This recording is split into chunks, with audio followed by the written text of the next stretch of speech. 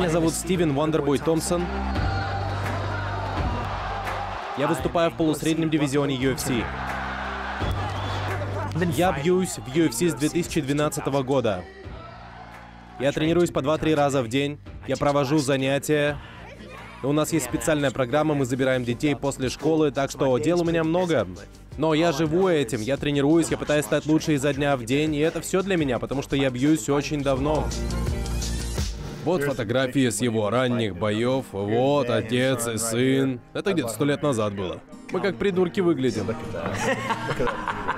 Я начал заниматься единоборствами в три года. Моего желания не спрашивали, у нас в доме это было обязательно.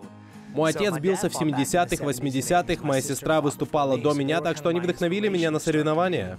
Когда мне было 15, отец нашел мне первый бой против 20-летнего парня, у которого был рекорд 20-0. В итоге я жестко избил этого парня. И, кстати, именно там я получил свой никнейм Вандербой. После поединка анонсер спросил моего оппонента, «Эй, что ты можешь сказать об этом Стивене Томпсоне?» И оппонент такой, зачем я вообще вышел против этого паренька? На что анонсер сказал, это Вандербой, с тех пор меня так называют. Я выступаю в UFC и бьюсь с лучшими парнями на планете. Кто может похвастать этим? Тем, что они бились с лучшими в мире. Это нечто особенное. В общем, я люблю тренироваться. Даже вне тренировочного лагеря я постоянно тренируюсь, как правило, два раза в день, а во время подготовки до трех раз в день. Но тренировками мой день не ограничивается. Я постоянно суечусь. Сумасшествие, все время в делах. Я главный детский инструктор в Upstate Karate, так что много времени я провожу здесь, по сути, живу здесь. Дома я только сплю, и все. Большую часть времени я провожу здесь.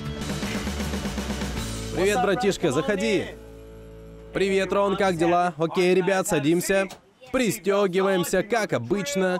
Я даже забираю детей после школы. Это программа, которая была у нас Блин, почти 20 лет, я принимаю в ней участие, я буквально сажусь в автобус и забираю детей из школы. Я был, можно сказать, одним из первых водителей автобуса по этой программе. Когда я был подростком, это была моя первая работа. Я забирал детей из школы и отвозил на занятия к родителям. Так что в 4 я привожу детей в зал, и с 4 где-то до 8 я веду детские занятия. Все готовность!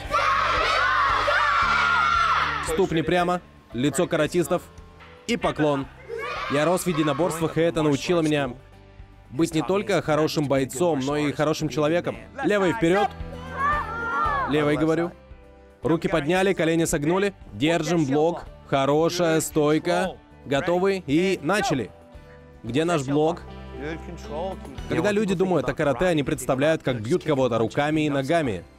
Но самооборона — это лишь малый аспект боевых единоборств. Они учат скромности, честности, самоконтролю, преодолению трудностей, и этот непоколебимый дух это то, на чем все строится.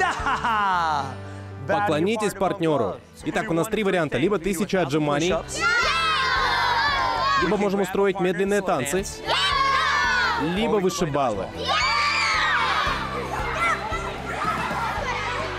Значит, вышибалы.